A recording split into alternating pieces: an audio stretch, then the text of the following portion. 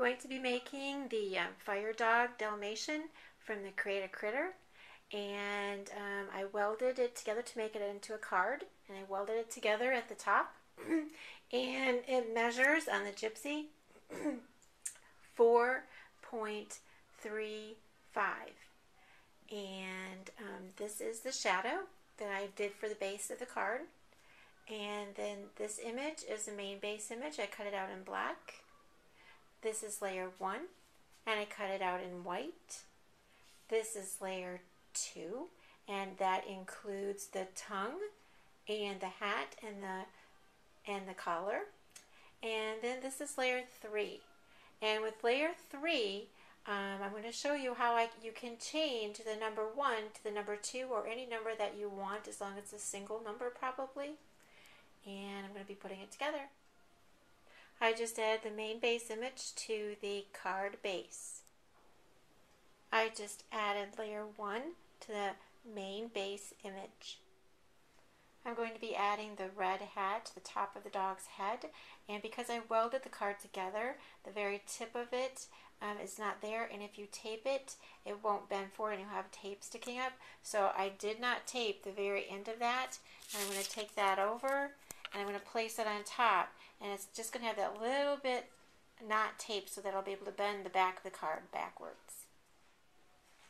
Okay, so I want you to see what I meant. I just bent my card backwards. I want you to see how, how that little tip right there um, shows. And so it's a good idea not to put any tape on the very end so it'll fold over. And it doesn't really matter that you welded that because um, it doesn't really matter for the front and it looks great. So I'm going to continue with my um, layering. Okay, so I just finished adding, adding the layers um, this was layer 2 and I just added the collar and the little red tongue. Okay, so I just added layer 3 which is the um, number to the top of the hat and the little tag on the collar and the um, card is finished. I will um, show you how to change the number out to the number 2. Okay, so I'm going to show you how I made the, I changed out the 1 into the 2. Um, what I've got here on the screen so far is I enlarged um, layer 3, which is the, um, the number. And what you do is you select that and you go to the Advanced tab. Once you go to the Advanced tab, you select the Hide icon, which is the corners right here. That will bring up your picture, and currently whatever's in red is what will be hidden. So I'm going to hide the number 1. Okay, then I hit OK and I go back to my screen. And then um, I select the number 2. The number 2 I, I have on here came from the Batman cartridge, but you can use any number 2.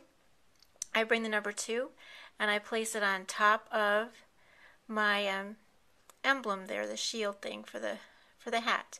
And then what I do is, um, it's easier if I can enlarge this because I can see a little bit better what I'm doing.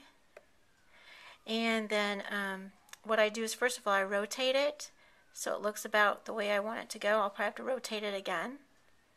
So, and because you can still kind of see the one underneath there, it kind of lets you see what, how you should rotate it. You can see what I'm saying. And I think that'll work because the bottom of the 2 lines up with where the 1 was.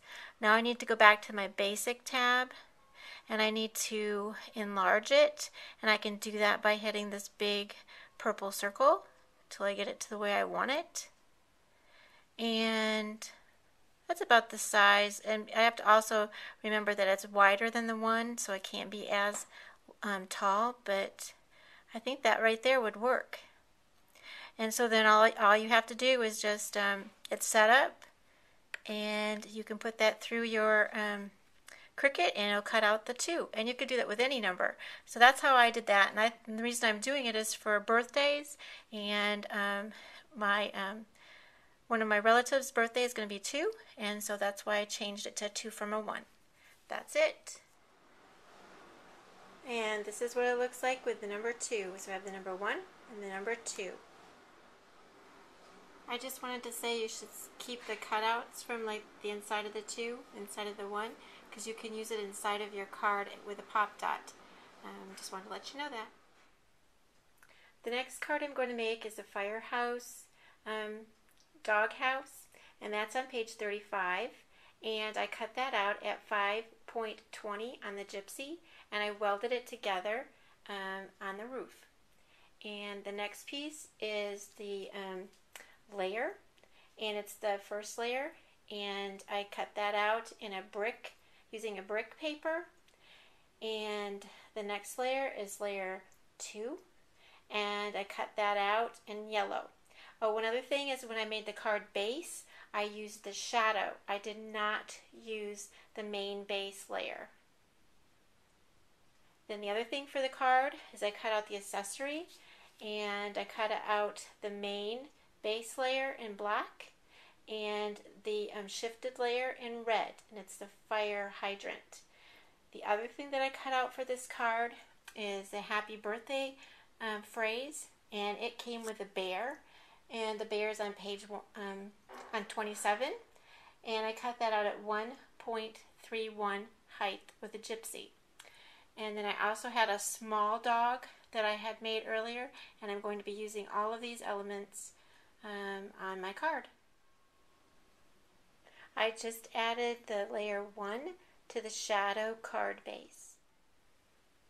I just added layer 2 which is the yellow roof um, on top of the um, card base because I don't have the main base layer underneath here. So it's just above the um, layer 1 but it's on top of the card base.